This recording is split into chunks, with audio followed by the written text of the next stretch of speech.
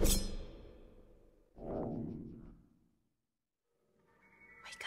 You're gonna be late.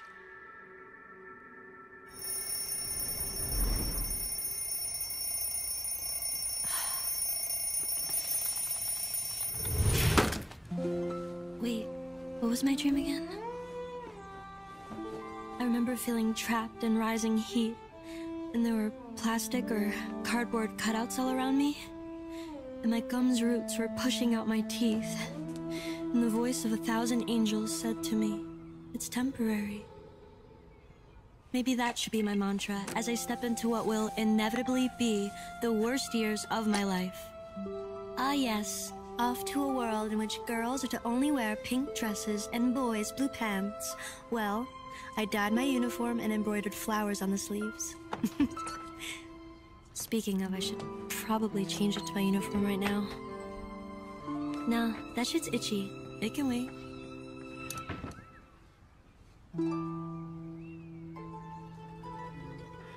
Oh yeah, and in my dream, you know, when the air below me was sucking my teeth out of their sockets, I noticed that my front two teeth stayed, and the gap between them just kept getting larger and larger. How's that even possible? I know, right? I wish my mom wasn't passed out right now and could at least drive me to the bus stop. Felipe, what are you doing in there? Don't scare me like that.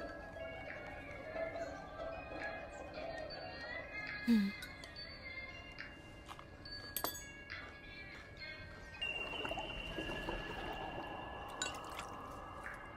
What was that angel's name again? Is it Lily or Layla? No, I think it was Lilith.